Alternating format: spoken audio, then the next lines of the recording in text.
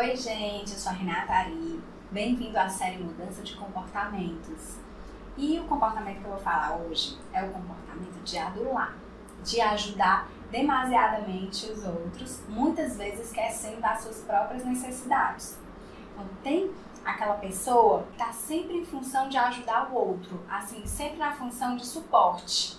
E o que ela vê que alguém está precisando, ela vai lá e diz assim: Não, já sei o que, que você quer, deixa que eu faço.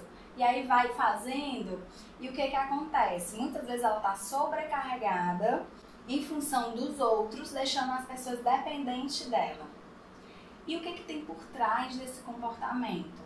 Muitas vezes é uma carência. Por quê? Porque se eu ajudo, eu sou reconhecida por isso. As pessoas me amam por isso, porque eu sou uma pessoa boa.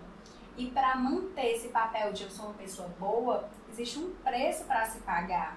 Muitas vezes um desgaste físico, um cansaço, uma frustração de não ter tempo para colocar os seus próprios projetos em prática. Por quê? Porque eu virei um suporte de outras pessoas. E a dica que eu tenho para te dar, se você se vê nesse comportamento, é antes de fazer algo pelo outro, pense assim: eu realmente eu quero fazer isso? Isso é uma doação, é uma coisa que eu estou fazendo de coração ou é um sacrifício? Porque se for um sacrifício, provavelmente você está querendo uma recompensa por isso, você está querendo ser visto, ser amado, ser valorizado por isso.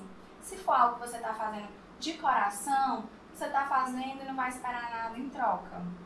E a outra dica que eu tenho para te dar é faça por você mesmo dê o abraço em si você dá nos outros. Faça coisas que te dê prazer, coisas que você possa se sentir valorizado por você mesmo. Se preencha de amor próprio, para que você possa ter uma vida cheia de realizações.